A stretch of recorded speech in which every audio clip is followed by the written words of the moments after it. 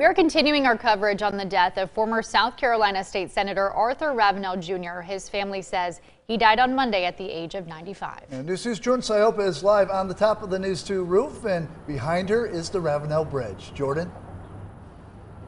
Brendan Aaron Arthur, Arthur Ravenel Jr. is probably best known for his decades long political career here in South Carolina and in Washington, D.C. Now, today I had the opportunity to speak with former colleagues and friends he made along the way. Arthur Ravenel Jr., known to many as a prominent South Carolina and U.S. politician, but to the people he worked with, he was much more. If I needed help in any kind of way, um, he would be there. I can remember working on Capitol Hill.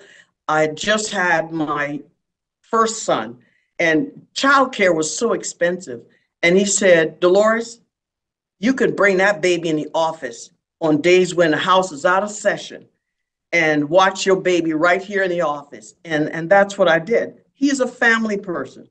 Dr. Dolores DaCosta knew Ravenel since she was a young girl in Awendaw. She eventually went on to work with him when he served in the U.S. House of Representatives. She credits Ravenel for jumpstarting her 20 year career in Washington, D.C., working for other members of Congress. One thing that I really liked about Arthur, he was very, he, he, was, he was such a Southern gentleman, but he was to the point you did not have to guess what he was trying to tell you.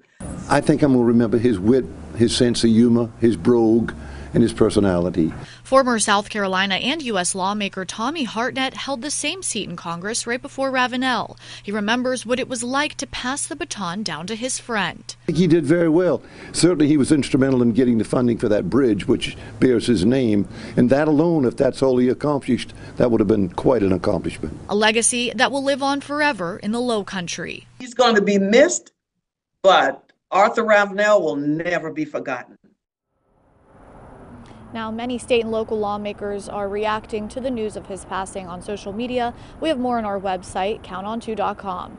Reporting live in Mount Pleasant, Jordan Siopa, Count on 2.